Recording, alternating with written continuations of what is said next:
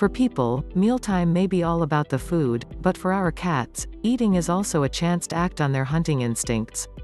According to some researchers, then, eating out of a bowl might not be the best option for your pet. Enter the puzzle feeder. A puzzle feeder is an alternative to free feeding your cat by presenting him with a food dispensing game.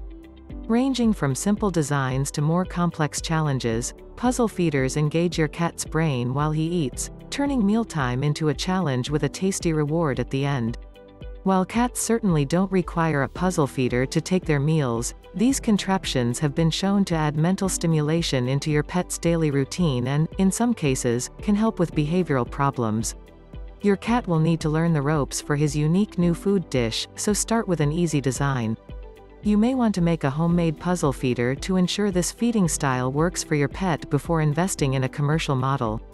To do this, take an empty bottle and cut holes in it that are slightly larger than the size of your cat's kibble.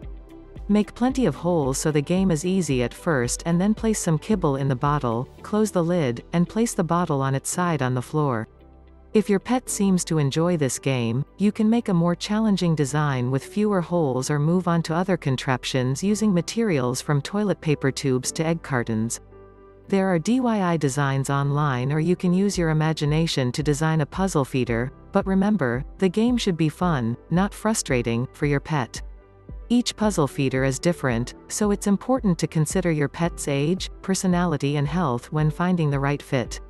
Before purchasing or designing a feeder, ask yourself whether your cat is an inquisitive, fast learner that would enjoy a challenge, or if he would be content with a simpler model.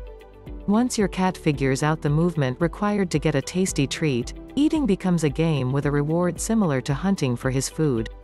Not only does this encourage your pet to eat slower, but can also ease boredom, redirect destructive behavior and add exercise to your cat's routine. Solo playtime can also aid overweight pets' weight loss and help in cases of cats prone to shredding furniture, walls or carpets. Using a puzzle feeder is just one way to enhance your cat's daily routine.